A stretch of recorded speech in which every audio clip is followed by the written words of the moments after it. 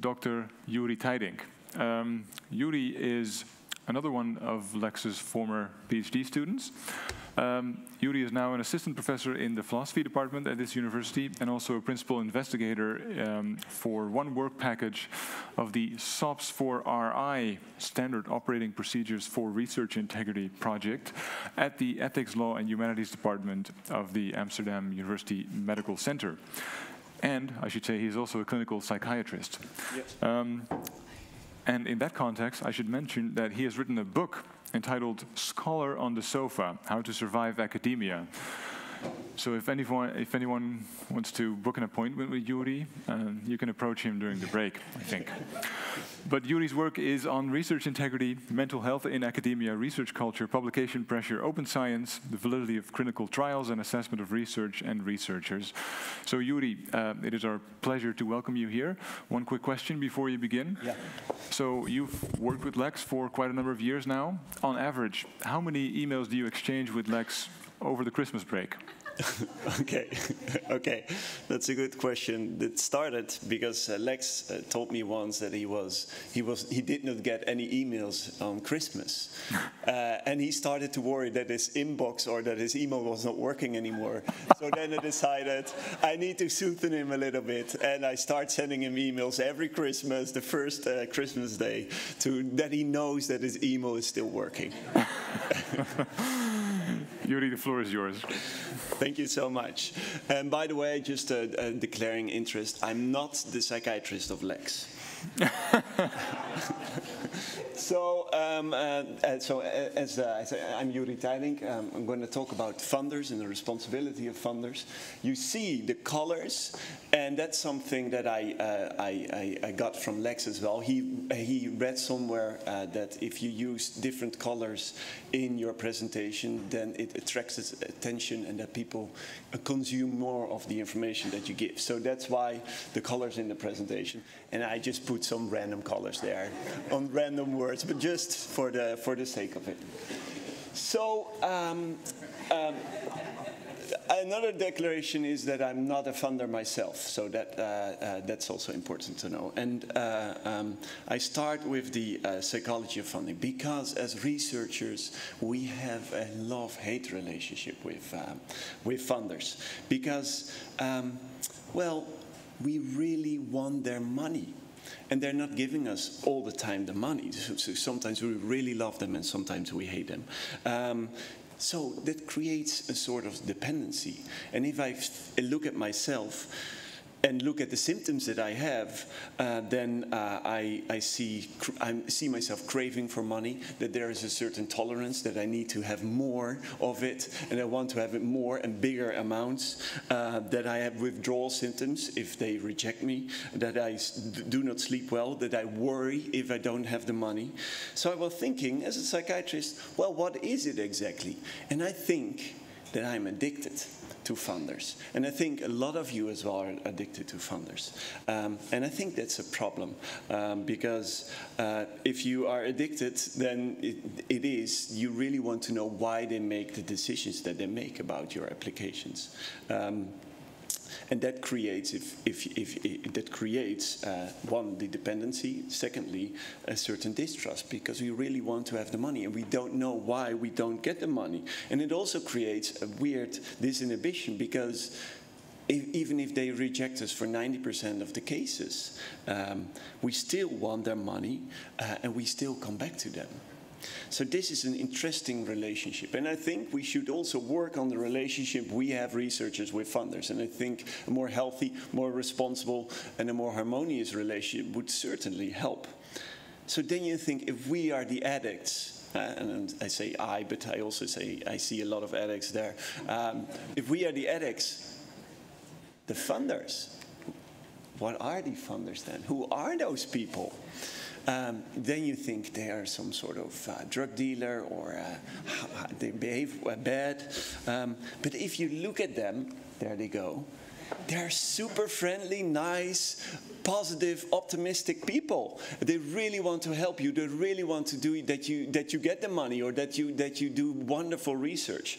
Of course, they can be opinionated sometimes, but they are great people. So how come it, how come that we are the addicts on people that are so nice and so friendly? Um, uh, and I think uh, one of the problems there is that uh, if we have these applications, uh, that we put in these applications, that we have to wait for uh, months and then we get this decision and we don't know what happens in this black box. And I think that this is a big problem. So um, we uh, are happy to help. And we, I, I, when I say we, we are the SOPS for I uh, consortium, which is a European project uh, that tries to create a toolbox full of tools and guidance for um, uh, for um, um, for research for research institutes, uh, research performing institutes, and research funding uh, organizations in order to uh, help them in guiding them towards research integrity. We're not going to talk about the RPOs or the research performing organizations. Uh, maybe we, we, we, we, dive into this in, an, uh, in another talk, but we really want to focus on the, um, uh, uh, the, the, the, toolbox for funders, because there are six ways how we can foster uh, research integrity in funders. So it's not just a, uh, it's a four-year project, so we did a lot of research, and I'm also happy to see and also thankful and grateful for all the great collaborators that we have collaborated with. Um, uh, we did reviews, we did Delphi, uh, Delphi studies, focus groups, surveys, um, co-creation workshops, and it resulted in crispy new guidelines for funders and for research performing institutes uh, uh, that, that can be helpful. Yeah, yeah, yeah. I just thought it would be nice, just uh, because it, it, it, this, it, Lex really told us, uh, well, it's, it should not be about me this uh, this symposium. So I thought, well, I just give some small hinges when he is um, um, um, when that he is he also contributed to the papers. So, and we did a pilot test. So what are these six core topics for funders to promote research integrity? So first of all, we divided it into two different uh, types. First, it is the external expectations that we have from researchers. That's the first one. And from uh, research institutes that they are, are if we, if funders should fund certain applications, that the research integrity standards are in place in their institutions. For example, about responsible supervision or about research integrity training, and that researchers comply to the highest uh, uh, ethical and research integrity standards. But also, the funders need internal procedures, and then it's really about fostering research integrity. Uh, it's on how you select proposals, how you monitor funded uh, projects, research projects, how you cope with within the funding institute uh, for uh, with declaration of interest and how you deal with breaches of research integrity. And I would really like to invite you to visit uh, uh, uh our uh, SOPS4RI website. There is the toolbox. There are plenty of tools in this this this toolbox already, and um, um, it is great to to share this with, with funders as well so they can tailor their own research integrity promotion plan uh, according to their own needs. But still, then we have this toolbox, but there are still some uh, problems. Um, uh, one of them is how will, will funders actually implement these guidelines? Will they use this research integrity promotion plan? And who will care in funding agencies about uh, research integrity? Because, I mean, they have these us, this is us, these obeying clients that are willing to do everything in order to get the uh, to get the funds. So who will actually care in funding agencies about research integrity? And does the lack of transparency create flawed decisions uh, in procedures? Um, and then we also have to think, because we know how to incentivize researchers, how can we incentivize these funders in order to comply to the highest ethical and research integrity standards? So, of course, I thought of some solutions as well. So, first of all is use the toolbox. And we have a beautiful and, and um, uh, uh, beautiful uh, implementation plan ready that's easy to use, that's practical, and that funders can start right away in creating their own research integrity uh, promotion plan. Second of all, is that we have to use the addiction for the better. So if you ask a researcher uh, to jump, uh, for money, they just ask how high. I mean, this is this is the actual status because the the, the, the, the rates are so low in getting the, the funds. The 10 to 15 percent is actually currently the low uh, uh, uh, rate of actually getting grants in in, in the Netherlands. Um, and we should also think of incentive structures for research integrity uh, uh, for the funders and for the government, so that governments give actually uh, money to the funders only if they actually comply to the highest ethical and research integrity standards.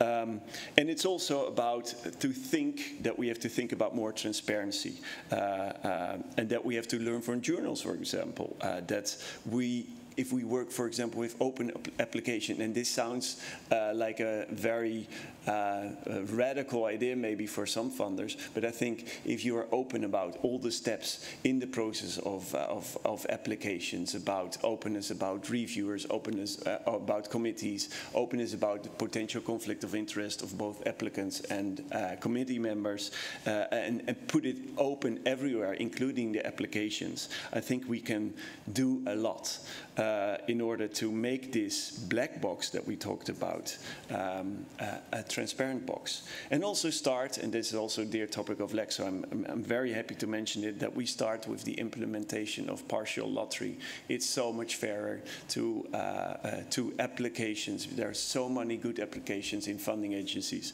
and we can do so much more in order to make that a fairer, more diverse, uh, and more responsible process. So indeed, we need a transparency box, and um, it's time to follow suit for funders. Uh, so that's why we, uh, I, I, just have a small video. I hope it's going to work. Yeah. Um. if you've learned a lot about leadership and making a movement, then let's watch a movement happen, start to finish, in under three minutes, and dissect some lessons. First, of course, a leader needs the guts to stand alone and look ridiculous. But what he's doing is so simple, it's almost instructional. This is key. You must be easy to follow. Now here comes the first follower with a crucial role. He publicly shows everyone else how to follow. Notice how the leader embraces him as an equal. So it's not about the leader anymore, it's about them, plural. Notice how he's calling to his friends to join in. So it takes guts to be a first follower. You stand out and you brave ridicule yourself. Being a first follower is an underappreciated form of leadership. The first follower transforms a lone nut into a leader. If the leader is the flint, the first follower is the spark that really makes the fire. Now here's the second follower. This is a turning point. It's proof the first has done well. Now it's not a lone nut and it's not two nuts. Three is a crowd and a crowd is news. A movement must be public. Make sure outsiders see more than just the leader. Everyone needs to see the followers because new followers emulate followers, not the leader. Now here come two more people, then three more immediately. Now we've got momentum. This is the tipping point, and now we have a movement. As more people jump in, it's no longer risky. If they were on the fence before, there's no reason not to join in now. They won't stand out, they won't be ridiculed, and they will be part of the in crowd if they hurry. So this is actually what we should do as funders. We should uh, be the, the, the, actually the, the early adapters in, in uh, implementing research integrity promotion plans. And then I'm sure the rest of the funders in the world will follow. So thank you very much uh, for your attention and I'm uh, happy to answer some questions.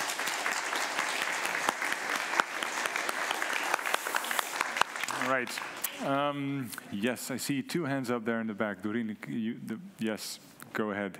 There's your mic, and keep the mic close to your mouth because that. Will do. Will do. Uh, first question I have in the room: uh, How many of you are funders? Can I have some fingers? One, two, three. Okay, so you're going to have a very big job in the following. Uh, so the question here, really, uh, thank you for the hyperbole here with the addiction and dealership. And I think in a way, once researchers have had their hit, usually the dealer doesn't do that much anymore. And of course, I'm probably insulting some very good funders here in the room, but what I hear often from researchers is that like, they gave me the money and never ask a second question. Um, what you're asking, actually asking them is to keep track of what's happening. Maybe do a midterm review where it's not just about the positive things, but the negative things as well, what can be improved. But then we get to this other question. Yeah, that's because then you need more support staff and more people looking over the shoulders of researchers. So I see you nodding. You're probably agreeing with that maybe you need a little bit more feedback loops here, but do you think it's feasible? Well, I think we, we can learn a lot from uh, from actually from researchers because if we if we have pre-registration, for example, we also check whether they report the primary outcomes, the secondary outcomes, how they actually what are the research questions, the hypothesis, for example. And I think it's the same for proposals. It is really weird that we that we get three million uh, euros or one million or seven hundred fifty thousand euros, and then uh, that there is not a uh, that you should not make uh, make clear how, what actually came out of the of the research, and that you stick to the highest uh, research integrity standards. And that's something, yeah, you, maybe you need, I think you need more support staff, but there should also be uh, research, a, a, a, demand to researchers that they really have to comply to these rules. And I think it's not so much about support staff, it's really about demanding it to researchers. Hey, you got this, you, you, you got a couple of million, now you have to show what you did with it and, and, and that you actually did everything in order to, to, to, in order to foster responsible research. Thanks. Yeah. Uh, thank you for the great uh, presentation. My name is Thomas Hoogeboom from the Radboud University Med Medical Center. Keep the mic close. Um, yeah, I'll keep it closer.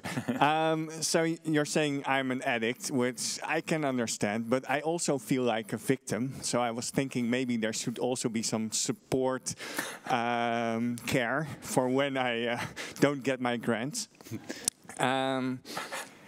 Is, is this uh, something we could also view like a funder as being uh, Holland Casino in the Netherlands, uh, where at some point you have to say like, oh, you're really an addict, uh, and maybe you shouldn't come around here uh, this often anymore. is is that a role for a funder, or is that something up to the addicted person? how how do you feel about that? Well, that it is. Then we talk about the Matthews effect, of course, that the, the, the that that people get money and more money and money more money. So um, it's it's quite hard because it's it's it's divided. Uh, you have to uh, see it more nuanced because if those are research integrity champions, I think they should, should stay addicted. I mean, because they do wonderful uh, work. They re really are trying to have the most responsible research, and I think you should reward it and, and, keep them addicted. While you, while it is not always the case in these in these Matthew effect people that they are the, the that that they are actually working to the high, these highest standards. So it's a little bit in between. You really want to have some addicts around and keep coming, but for some addicts, it's better that they really go to these detoxification clinics. Yeah. All right. Thank you. The final question. Yeah with the um, chances that I am being accused of being in a Stockholm syndrome, I would like to say something in favor of some funders. Um, I'm an addict. My name is Bob Siegerink, and I'm an addict. Uh, but some funders actually. Um, yeah, that, um, thank you, Bob. Yeah, yeah. yeah. No, but, but, but, but, but, but some funders actually try try to do what Siko perhaps uh, said, and as an experience, I can tell you that the Wellcome Trust from the UK actually knocked on our door when I worked in Berlin, and I said, "Listen, we see that you do a lot of translational research. What do you want to do?" Imagine that you would just get 2 million euros. What do you want to do to improve the way you do research in terms of um, translational research? What hurdles do you want to uh, make disappear? And I said, well, yeah, um, not just research, just in your organization. What do you, where do you need manpower? That's called now the BM, well, the Wellcome Trust Translational Partnership, and in the translational partnership, they visit us. They come to us. Well, I'm not there anymore, but they came to Berlin and they come there and they explain, and this is the plan, this is what we're going to do.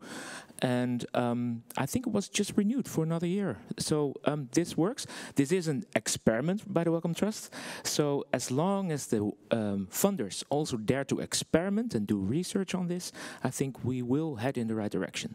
So much for my contribution. Well, thank you, Bob. Just to, to a brief comment, I, I, really think we need a more healthy relationship with funders, indeed. So, and that starts, for example, with that there is less dependency, and that you really are, want to learn from each other instead of that it's it's a, it's a one-way street. So, I really like uh, this uh, this um, this initiative, and I hope it will it, it will have a, uh, a more that there is more to follow. Right. Um, thanks a lot, Joeri. So I gather that you will be sending the head of the Dutch Research Council an email, so inviting Marcel Levi to start dancing. Yeah, yeah, yeah, yeah, for sure. Yeah. All right. Thanks a lot, Joeri.